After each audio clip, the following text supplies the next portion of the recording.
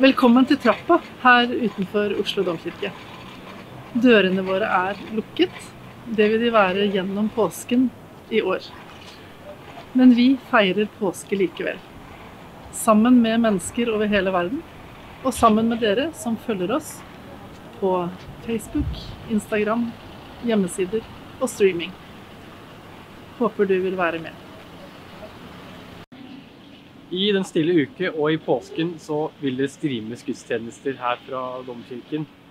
Du finner oversikten ved å gå inn på Facebook eller på nettsidene våre.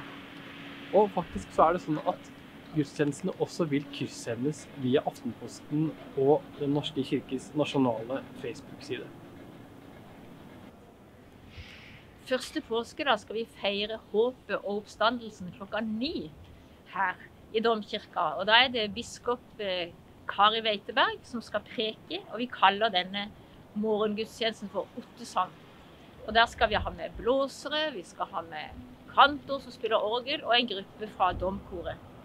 Og dere kan være trygge på at vi tar de nødvendige smittevernhensyn. Vi holder god avstand til hverandre, og ellers gjør sånn som vi har fått beskjed om. Kirken er også til stede ute i byen. Gatepress for ungdom vandrer rundt i sentrum flere dager i uka. Og Skulle du møte på meg, så er det for hvem som helst å ta kontakt med meg for en samtale. Da står vi på én meters avstand og kan prate om hva som helst. Bymisjonen er òg ute på gatene.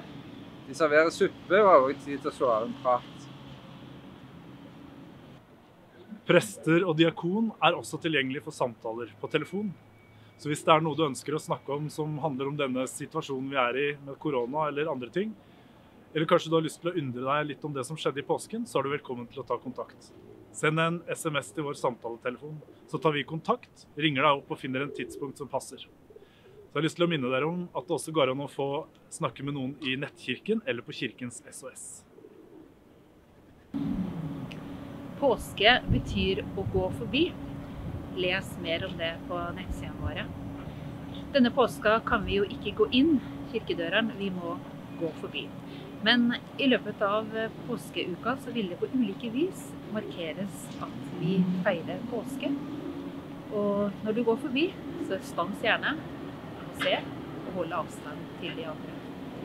På påskedag vil trappa bli dekt med påskeliljer og lys for å feire livet.